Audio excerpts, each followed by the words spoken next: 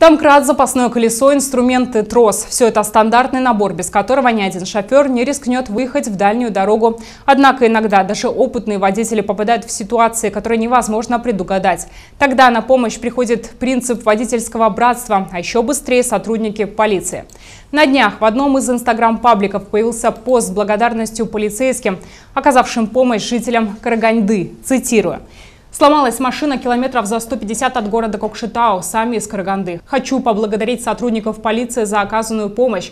Полдня нам помогали, пока машина не встала на свой ход. Огромное спасибо, что не оставили в беде. Оказалось, что автомобиль марки «Мерседес» с тремя карагандинцами, ехавшими домой из Костанайской области, сломался между селами Рузаевка и Токсанби, района имени Габита Мусрепова. Путники пытались самостоятельно устранить поломку, но тщетно. Патрулировавший данный участок автодороги Екатеринбург-Алматы экипаж в составе инспекторов службы батальона патрульной полиции Рустема Советова и Дидара Дюселекова отбуксировали «Мерседес» в Рузаевку на станцию техобслуживания. Полицейские проконтролировали доставку необходимой запчасти и были на связи с каргандинцами до самого завершения починки авто.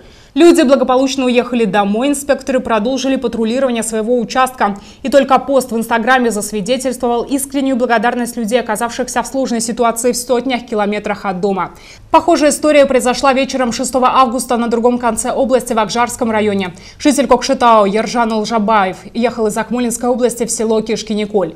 Перед райцентром Талшику его ВАЗ-2114 вышел из строя ремень газораспределительного механизма. Благо рядом проезжал автопатруль в составе инспекторов службы батальона патрульной полиции Азамата Айтымова и Аблая Нуржанова. Полицейские взяли сломавшийся автомобиль на трос и отбуксировали за 30 километров в село Кишки-Николь прямо во двор родственников Ержана Лжабаева. Кокшетауис поблагодарил патрульных, отправив видео момента буксировки в директ аккаунта полиции Северо-Казахстанской области в Инстаграме. В рамках сервисной модели работы полиции помощь на дороге является одним из приоритетов в службе патрульной, говорит командир батальона Ерлан Мадиев.